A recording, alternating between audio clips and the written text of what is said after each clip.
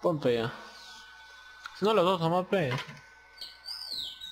O tienes miedo que te gane.